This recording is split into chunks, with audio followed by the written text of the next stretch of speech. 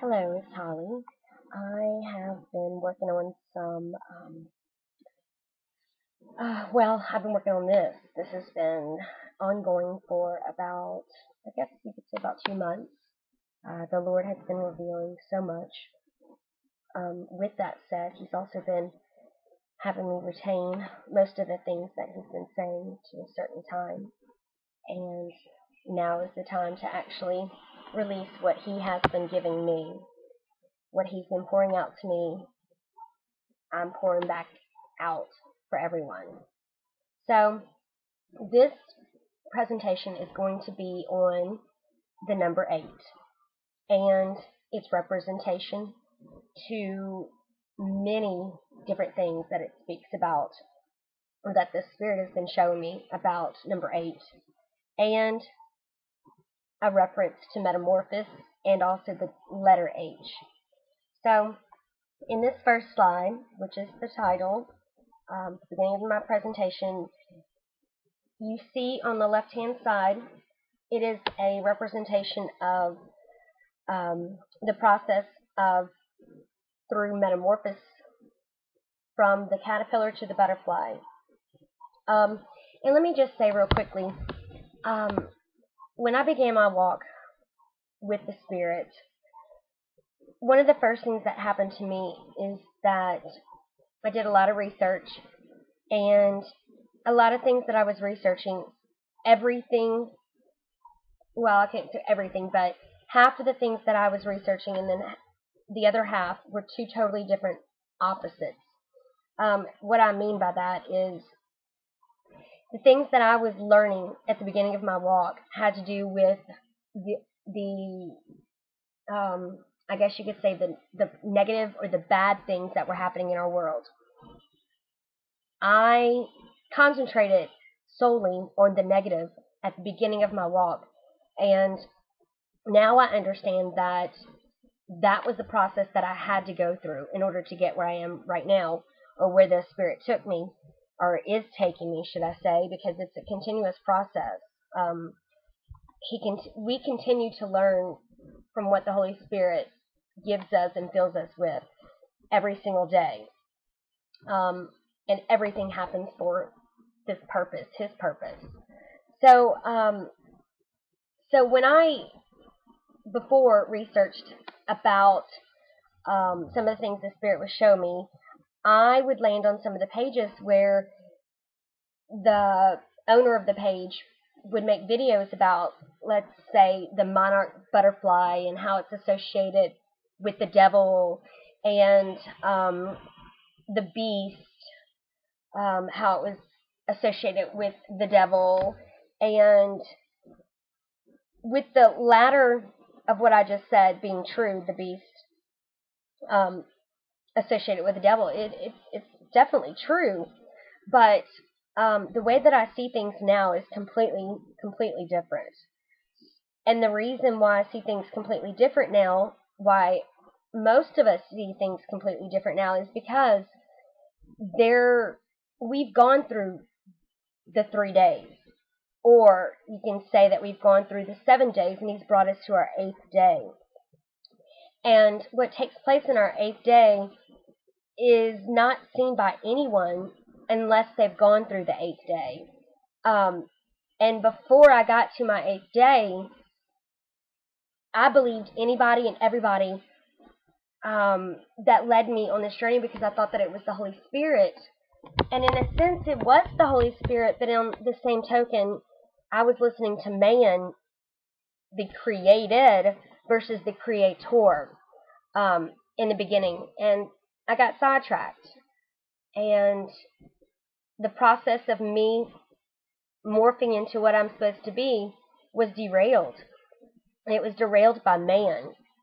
Um, when I started to just listen to the Holy Spirit alone and let no one teach me is when I began seeing light.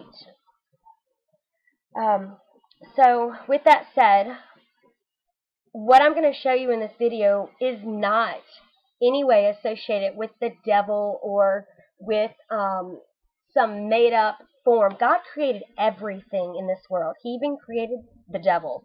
So there is a purpose and a reason and a rhyme that he created the devil and he created us and everything that takes place. So um, we're going to talk about that in this video presentation.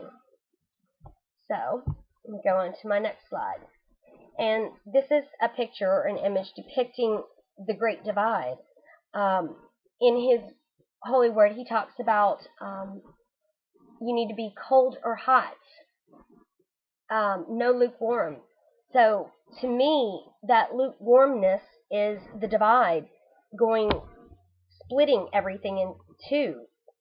Okay, we there is a reason for the two parts, um, and we're going to see what that reason is. But when we only see the light, or if we're only seeing the darkness, then we're not there yet, in a sense. Um, in order for us to be at the top of the peak or the top of the mountain, Mount Zion, um, New Jerusalem, New Heaven, New Earth, in order for us to see the top or the overall picture, uh, we need to bring the two parts together and make them become one. So, how do we do that? Or how does the Spirit teach us to do that? Okay, that, those are some of the questions that we're going to be talking about. So, again, you have your Great Divide. What takes place in this Great Divide? Well, the divide is what keeps us limited. If we're only seeing parts, then we're not seeing the whole picture. And why aren't we seeing this whole picture? Okay, so let's take a look at the parts that makes the whole. So when you see this image right here, you have black and you have white. Could you tell me how these two colors represent two different parts? Think about your brain. Your brain is divided. We have a left brain and we have a right brain.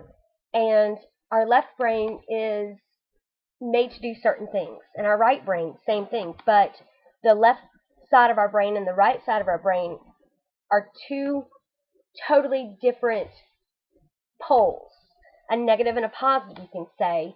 Um, but when those two poles come together, then there's unity and there's growth and there's circumcision. Um, and when I speak about circumcision, I'm speaking about circumcision in the spirit.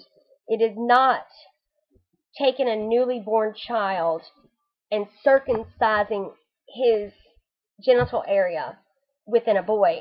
Even though that is called circumcision, that's called circumcision in the world that we live in. It is not speaking about the circumcision in the spirit. In the spirit, being circumcised on the eighth day means that um, we we are able to see, we are able to hear, we are able to speak what the Spirit is telling us. So circumcision of the eighth day in the Spirit is being made whole by the Holy Spirit. Okay? Um, so let's take a look at some of the um, features of our left brain and our right brain and see the difference and why the people want to keep us divided. And when I say the people, it's the evil people in the world.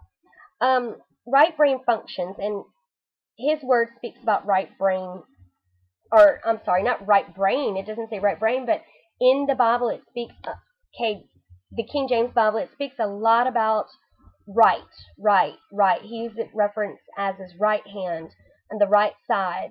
Um, so I want you to think about some of those verses that you that you know, um, and also do do a a Bible search after we get done and see how this represents the two parts what I'm speaking about.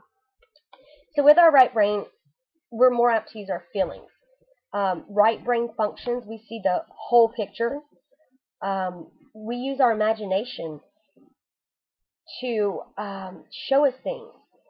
It's the imagination rules, symbols. We use symbols a lot, pictures, images. Um, right brain thinkers, they usually use, they think about the present and they think in terms of in the future. Um, they they have a philosophy or a certain type of religion which I'm a strong believer in. I don't believe in religion. I believe in Christ. I believe in God. But um, I'm a part of no religion. I believe that God made everything, so therefore He is everything. Um, they're most right brain believers are believers. They appreciate things. They have spatial perception. They see space. Um, my husband and I, it's so funny because when we would rearrange our furniture, he would say, "It's not our piece, whatever furniture we're moving." He'd say, "It doesn't fit there. It's not going to fit there." Um, but I, just by looking at something, I could tell um, without even measuring it whether it would or it wouldn't, and because I believe that I saw the whole picture, I visualized it and I put it there, and I, I I've always been right in that aspect. So uh, I thought it was pretty cool that I was able to see and perceive my perception in terms of being able to see if it could fit. Um, risk taking, right brain thinkers are risk takers. Um, instead of saying or believing that they can't do something, they're going to try it. And if one way doesn't work, then they're going to try it another way. Okay, and you can see, we're going to talk about some more features, but I want to move on to our left brain functions. Um, these are your analytical thinkers. Um, they use numbers a lot, facts, rules, detail oriented. They go from the part, part, whole versus the right brain learners. They go from the whole, part, part. Um, left brain functions are math and science, and they're in the present, but they concentrate on the past versus the future. Um, they can comprehend. They can think. They um, they have to they have to know why something happens before they're going to believe it. Um, when the right brain appreciates something, the left brain type of people they acknowledge it. They they don't have an appreciation for it. They just they say, okay, that's what it is. Um, left brain functions have order and pattern that they see in. And they they know an object's name, but your right brain people are going to know the function of that name. Like they see it in their mind, like happening instead of just the name. They see it. Um, the left brain functions are reality based. They live in the reality. Um, versus right brain functions. They live in the fantasy. They they picture it and they see it and they live it. And um, left brain functions are form strategies, and strategies are parts of how they're going to solve something. Um, let's do it this way, and then do it this way, and then let's end with this way. Whereas the right brain functions, um, they're going to see possibilities if it doesn't work this way, then we're going to try this. But they're they're pulling it all together. I mean, I'm sorry, pulling it all in and then actually working it out. Um, left brain functions are practical and they're safe. They again don't like to take that risk taking. Okay. Um, see. Here's another image for those of you that like images. And um, this to me would be more of a picture that I would like versus the one that we, you just saw because it has color and it has um, different fonts, which I like. It has a couple more images on the side, but the left brain person would prefer the previous picture that I showed because it was factual and just presented the ideas and and you can see right here. Oh, well, I pressed the button. I didn't mean to. Let me pull that back. I know that you're going to see the other side, but that's all right. We'll come back to it. Um, you have um, decisive, logic, accurate, analytical. They reason. They're practical. They're strategic. They have to have control um, and science, realistic. And then you have your right brain. Look at all the color. I love color. You have peace and yearning, creative, vivid, passion, freedom. Um, these are your poetry and your art majors and um, just things that like, or I'm sorry, not things, but people that like to create. Um, intuitive. They see things happening before they happen. Okay. Um, and then we have one more image that I wanted you to see. This is probably my more favorite um, image out of all three because this is completely shown with some words, but mainly images. Um, and so that will show you right there images. You got your camera, which I used to be a photographer. Owned my own business. Um, went back to teaching. So when I teach my students, this is how I like to teach them. Just like I'm showing you, I like to show images and um, symbols, and I use my imagination. I have them use their imagination to solve problems. Um, spatial, uh, we live in the present, but I also teach about future. I help, I help them connect things, um, how they're going to use math or reading or science, and how they're going to use it in the future, and how would they use it. And a lot of times I use my feelings and pull up feelings from them to teach and to help them remember. Um, this way of teaching is associated with right brain thinkers. So in my class, if I have right brain students, then they're going to perceive and learn from the way that I teach. Whereas if I have some left brain thinkers, they might not like the way that I teach and they want more just give it to me like this, give it to me and show me how it is and that's it. That's you know, they read and they they they have to do it themselves um, with numbers and with science and they see patterns. They use logic and they use um, strategy to solve uh, problems. They again they like the past, which it is true we learn from the past, but um, it's just it's just two different ways to see the divide, and this is exactly what the Holy Spirit has been showing me about the divide and how we see things and how we associate um, this spirit with the world. Okay. Um, a lot of you know that I um, definitely have experienced something in my life. When all this began, I had a vision of um, 28, the number 28 or 2 and the number 8. And later on, the Lord showed me that it was 2 8, as in 2 W O 8 88. Um, and I believe that it was all for, well, I know that it was all for this reason. It was showing me about the eighth day. Um, and, it, and I've used those two numbers to get me here. He knew it. He, he knew that if he gave me something that I would continue and continue on until I figured out what it meant because it was so powerful when it happened. But um, I want you to think about the butterfly effect. Um, so the butterfly effect is this happens over here, so it affects what happens over here. Um, if you can possibly visualize that for a second. And then I want you to also look at this butterfly right here. This is, even though there's two different butterfly pictures on this image or this screen, it is the same butterfly. Um, and the way it's the same butterfly is that the ventral view or the underneath, which he was showing me understands with this image, um, the underneath of this butterfly is red and white and black.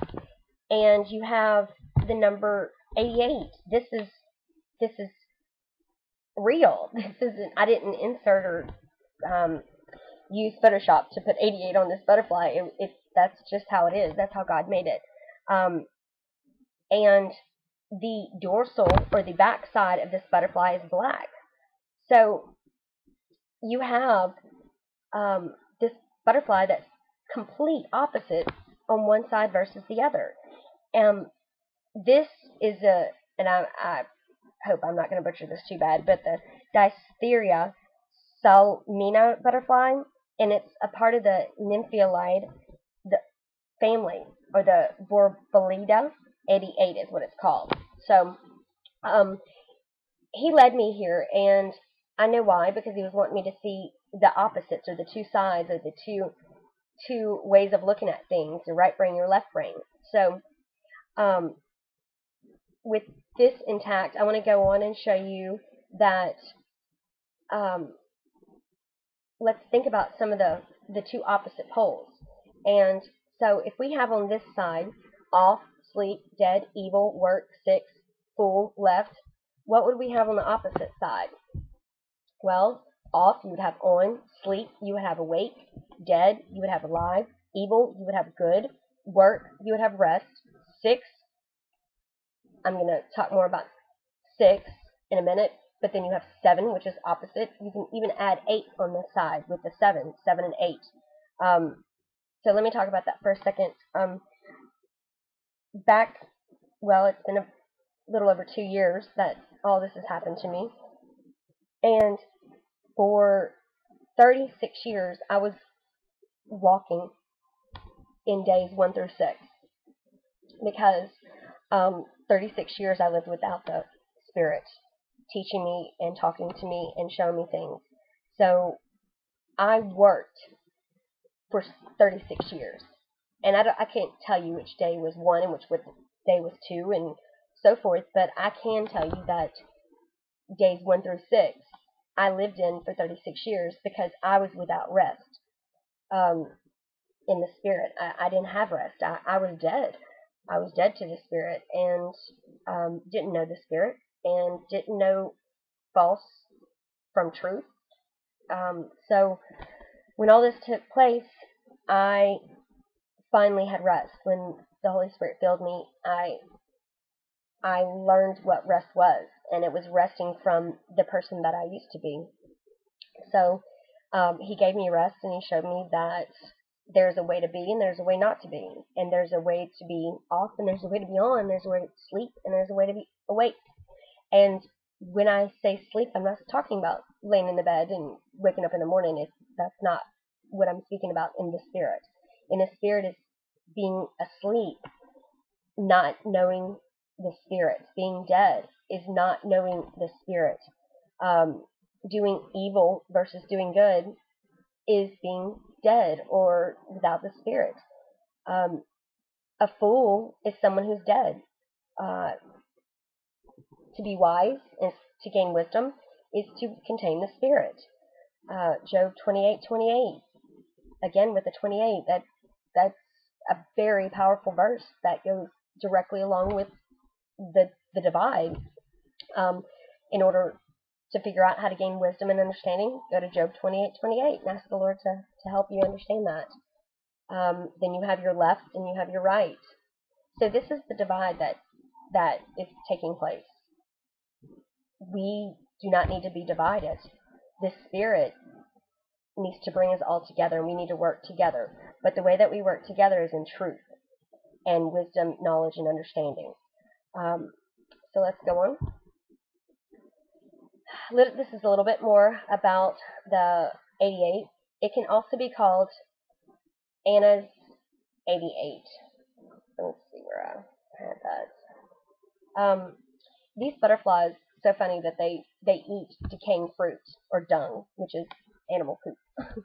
um, I thought that was kind of funny, considering that uh, the Bible speaks about dung a lot, and it also talks about fruit extensively. Um, so, in order for us to have fruit and to produce fruit, and I'm speaking in the Spirit, then we need to abide and follow the Spirit, and the Spirit teaches us um, truth. So, um, I'm going to go ahead and, well, the wingspan is about 30 to 40 millimeters. The adults are black and blue band on each wing. The underside is red and white with black stripes that look like an outline number 88. Again, this this is the same butterfly. This is the dorsal view and your ventral view. When I saw the ventral, that reminded me of also the heart, which the heart is subdivided into four. Um, you have chambers, and the ventricle and the aorta, just different parts of the heart. So that was another thing he was showing me. Um, and here's another type of butterfly. Uh, this butterfly I thought was pretty special because it has reflecting um, this right here. The wings of this butterfly has like a reflectant. Um, you, have you ever seen material where you turn it a certain way and, and it changes colors? This is probably, since everything is adapted after nature um, and animals, you have uh, the same thing that's taking place. And this butterfly is the same kind of material. uh, or that's used with this material to create the same effect. And this is the same thing. This is a nymphiolite butterfly. And again, you have your blue on the inside, and then this is what shocked me because it was referring to the side of the wing, and it was said it was like a dead leaf. Uh, so the outside, or the I'm sorry, the underside of this butterfly is synonymous with the dead leaf. Okay, representation of the dead tree. Um, another thing I saw with this butterfly, what I thought was really amazing, is you have the Great Divide. If you have the divide right here, here's the one. Um, again, this is three and three, and then one in the middle is the seven. Reminds me of the um, the candlestick. Uh, you have on this side right here, you have the three circles together, which later on you're going to see how I use this a lot, or how he showed me with the three, the two eight that become three parts. And then you have um, this side over here, which you have two circles, which looks like the eight, and then you have one separated from the eight. So I'm going to show you how he's shown me in the past of how to um, bring this all together as far as in our DNA and different things like that. Um, so then Nymphialidae, I think that's how you pronounce it, it's the largest family of butterflies with about 6,000 species distributed throughout most of the world. These are usually medium-sized to large butterflies. Um, most species have a reduced pair of four legs, and many hold their colorful wings flat when resting. They are also called brush-footed butterflies or four-footed butterflies. Um, four is very synonymous in the kingdom. Many species are brightly colored and include popular species such as the emperor's monarch butterflies, um, reminds me of the kingdom, admirals, tortoise shells, and fritillaries. However, the underwings are in contrast. The underwings are often dull, and in some species look remarkably like dead leaves. Um, or for uh, they're much paler, producing a cryptic, cryptic, like dead, effect that helps the butterfly disappear in its surroundings, like a camouflage. The monarch, um, as I was studying about the monarch butterfly, I came across a video on YouTube and it was talking about monarch butterflies and um, what it brings. It brings on the Day of the Dead. This is what some some people believe um, in Mexico. Um, they believe that the resurrection it's it's the when the butterflies fly to Mexico and to this certain area that it's a re resurrection from winter and lasts thousands of years. And you can view this video on just type in the monarch butterfly, four wings and a prayer. I thought it was pretty ironic and just went with everything that he was showing me. Um, but I'm leading you to do your own research because in all this, I don't want anyone to follow me and what what um, what I'm telling you. I want you to follow your own spirit. Um, so if you want to do that, go ahead. This right here, um, I want you to look at it for a second, and of course it's the alphabet, but I'm sure most of you may know or may not know that the letters that you see before you are letters that are not photoshopped again, but they are actually imprinted on the wings of butterflies. Um, you cannot tell me that the Lord is absolutely amazing with things like this.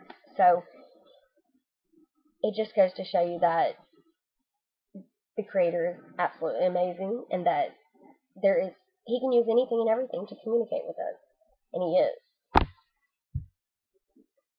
Um, so then I want you to look at two different metamorphosis um, functions or different ways that metamorphosis takes place. You have your complete metamorphosis, and then you have your incomplete metamorphosis. Um, the complete metamorphosis is when you have an animal that goes um, through the process and comes out completely changed. Um, within the cocoon, or the butterfly within that cocoon, or the caterpillar within that cocoon, um, it is completely um, changed and metamorphed into an, another creature. And then with your incomplete metamorphosis, you have what's called um, a nymph, which is the baby stage, and in the childlike or the the baby nymph stage, and it going through its process, it that nymph looks a certain way, and when it becomes the adult and it goes through metamorphosis or the incomplete metamorphosis, it still looks like the creature that it was beforehand.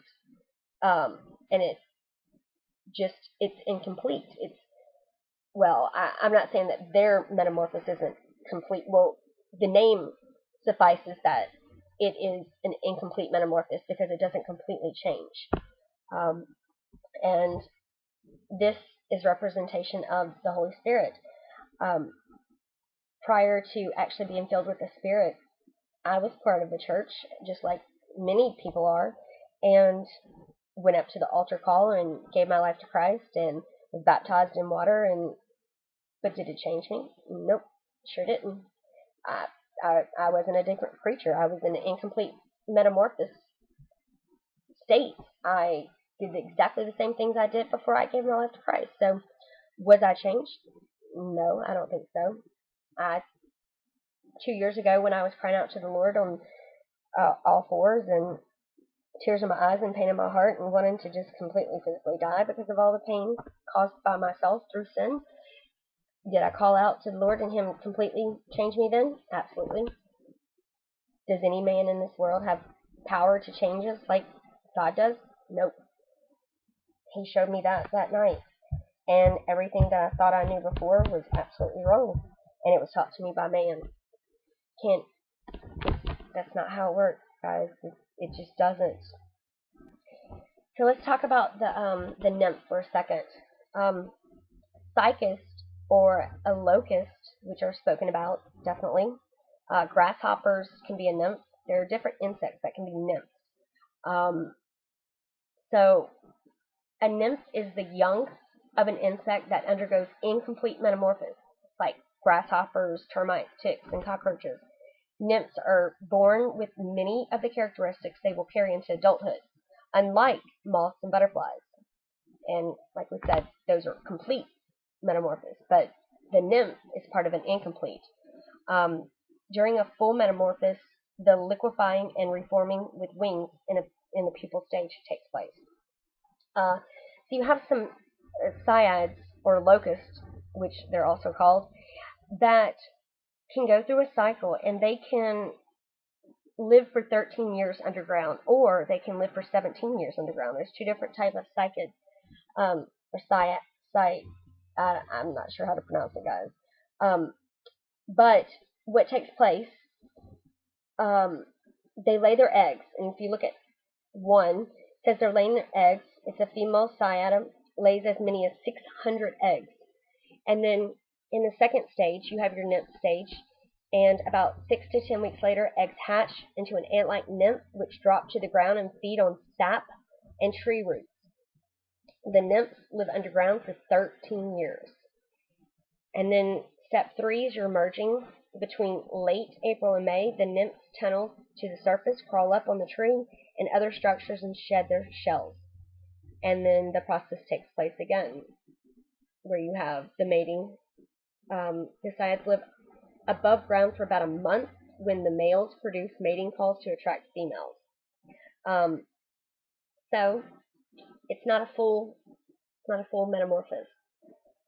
So I want you to relate these to what's spoken about in the Bible about your locust and your grasshoppers and insects and ticks and lice and uh, different things like that and apply them to what you see here as far as the complete or the incomplete metamorphosis. Um, oops, I went a little too far. Let me go back. So then it, I did a research on um, child, child or young animals, or different names for what we call the young. Um, then I came across an eyas. It is a young nestling, nestling hawk or falcon, though the word can also indicate a young hawk that has been taken from its nest so that it can be trained for hunting. It was just so plain as day. He was the Lord was showing me that there are eunuchs that are trained and some eunuchs that have been called. Um, just like you have in the church, you have pastors that are trained to be what they are, and then there's some people that are not in the church and are called. So, which one do you believe you should follow more? The one that's been trained to look and act like it's something it's not, or the ones that have actually been called? And we have to decide where the Spirit resides.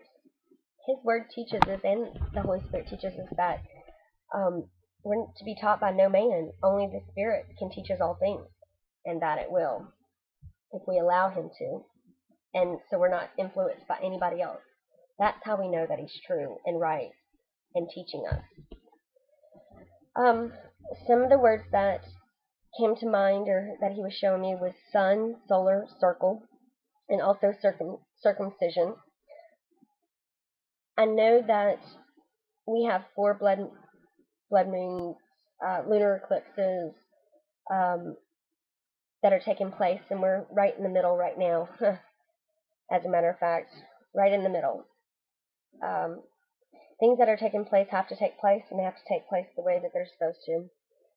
So, with that said, um, some questions arise in my mind that I still, for two years, haven't been able to see the correct answer or given the correct answer, and but soon I know that that they will. One of the questions that I have is why is man spraying the the sky? I mean, everyone knows that there's chemtrails. There there were contrails.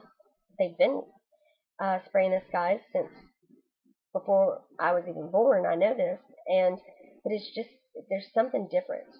Uh, for a couple of days now, um, I've noticed where they've been spraying, and they've been spraying directly by the sun, like they're trying to hide something in there, and just not sure what it is. A lot of a lot of times, um, I've been seeing these sun dogs, um,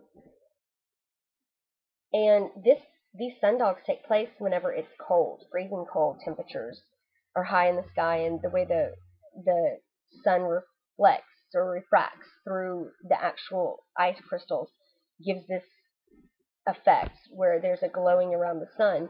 But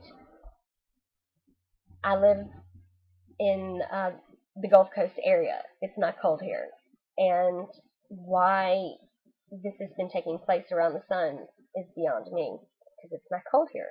And I know that the temperatures get colder as you rise in the sky, but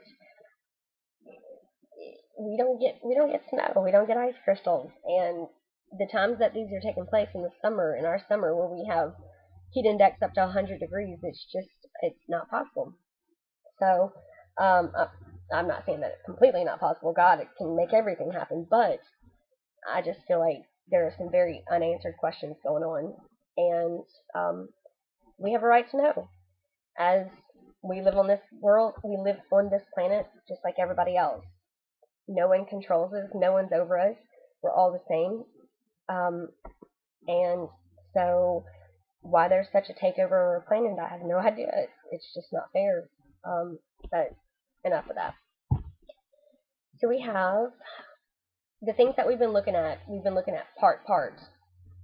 We haven't seen the overall picture yet, but what we've learned is that left brain um, left brain thinkers use this um, type of functioning to actually figure out, figure out their problems, part part to the whole. Whereas if we go from the whole to the parts down, we're going to see something totally different. No, we'll actually we'll see, see things the same exact way, but we'll see it in a different light. So let's see. I want to go over a few verses about circumcision and the Son of God's covenant. This is my covenant, which ye shall keep between me and you and thy seed after thee. Every man, child, young, child among you shall be circumcised, and ye shall circumcise the flesh of your foreskin. We know that the flesh is not where we're supposed to live. But right here it's it's talking about the flesh and the spirit. And it's the foreskin, it's it's part of the skin. And it shall be a token of the covenant between me and you. And he that is eight days old shall be circumcised among you, every man child in your generation. He that is born in the house or brought or bought with money of any stranger, which is not of thy seed. So, eight days. And when eight days were accomplished for the circumcising of the child, his name was called Jesus, which was so named of the angel before he was conceived in the womb. Okay? For he is not a Jew, which is one outwardly, neither is that circumcision, which is outward in the flesh, but he is a Jew, which is one inwardly, and circumcision is that of the heart, in the spirit, and not in the letter, whose praise is not of men, but of God. Someone could know every single word in the entire Bible. Does man think that they have the Spirit? Most men think that they have the Spirit if they know the Bible that well. But is it the Spirit? Is it the letter that gives us the Spirit? Nope, it doesn't. So I'm not saying not to study the Word. Yes, I studied the Word, and that's where it showed me what he was showing me agreed 100% with what he was showing me. That's how I tested the Spirit to see if it was truly him because what he was showing me, I would go to the Word and, and find out exactly if it was true, and it was. He was showing me through his Word and showing me um, in in my everyday life. It all connected. So, all three concepts of circumcision, baptism, and resurrection come together in Colossians 2:11, where it says, "In whom also ye are circumcised with a circumcision made without hands, in putting off the body of the sins of the flesh." Let me repeat that. You are circumcised without hands in putting off the body of the sins of the flesh by the circumcision of Christ. When the Spirit came and entered into me, and my eyes were immediately opened, and I was transformed by the Holy Spirit within inside of me, my brain, or Christ, or the Holy Spirit, whichever you prefer to say, showed me instantly how I had to remain alive, and that was to not sin. When He filled me with the Spirit, He He told me, "Go and sin no more." Who am I to say that if I sin that I will not lose what I have? Granted, it has been a journey in the past two years, and for the past two years, I was completely in the wilderness, and I had to learn, just like Paul had to learn, whereas he was in his flesh, but he wanted to be so, so completely in the spirit, and he was talking about how he couldn't do it, and, and you know, until you get to Romans 8 and it and it shows you exactly how to do it. You have to have faith and you have to believe that Christ and our Father is more powerful than anything and everything.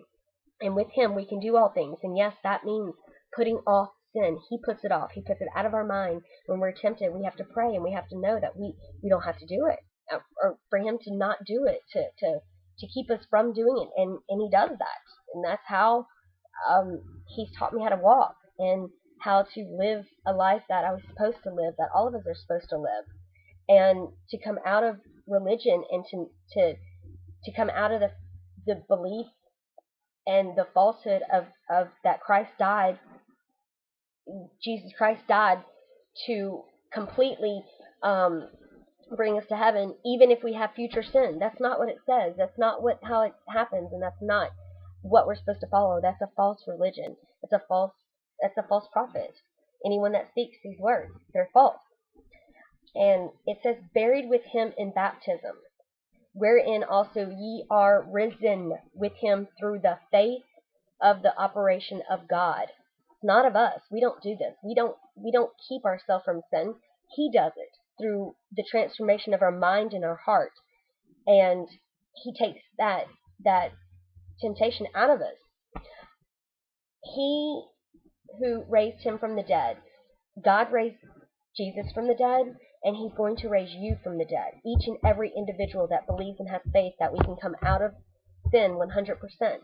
If you believe even the size of a mustard seed that he can do this for you, and you truly believe it with all your heart that this can happen, then he will reveal himself and he will show you how he does it.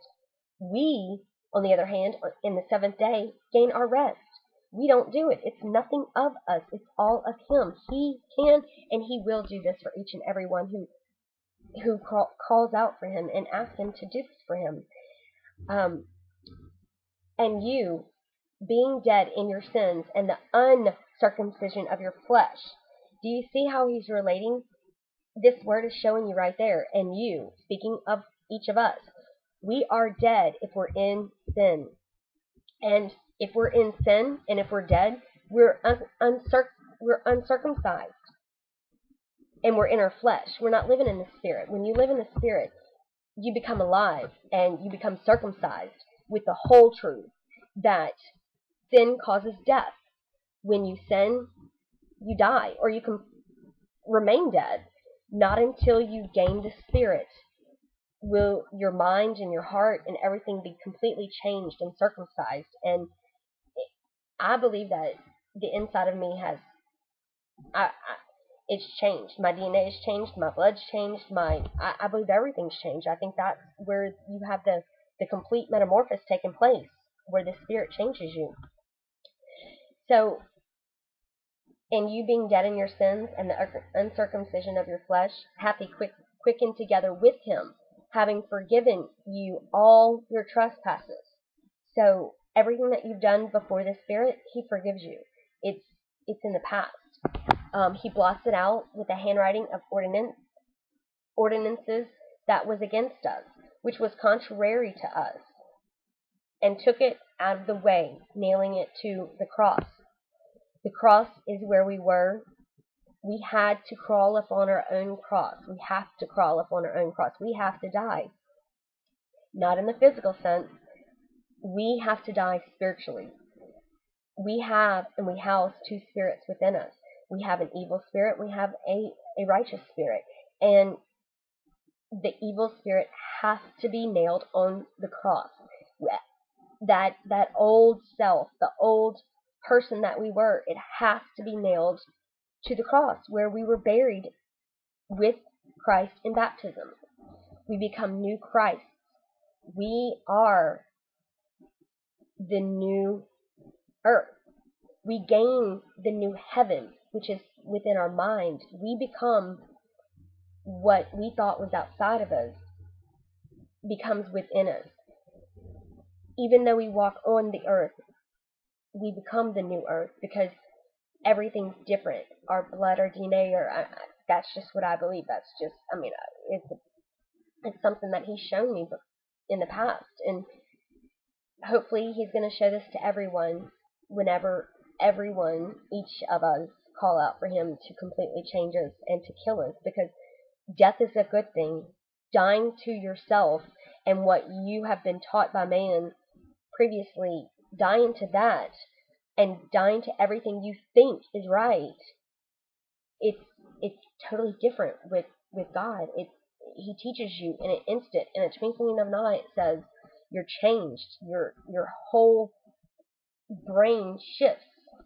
I guess from the left brain to the right brain. Um, but then he starts teaching us both sides and showing us that they're both connected and they're all for good. No evil can come from the left nor the right, and good just doesn't come from the right, it also comes from the left. So maybe I'm speaking a little bit further than what I need to be right now, but um, when the spirit enters into you, you you see the whole picture, and then you go from the whole to the part. Okay, I'm going to stop right here for a second and come back to you. I just want to make sure this, hopefully, this video is going to upload. Um, I know I checked the previous one, but I didn't go this long, so um, I'm to come back, and in the next video, we're to we're to look at the parts, and we're to look at the whole picture and see where we go from there. Um, love you guys. Blessings and love completely. I'll be with you in just a second.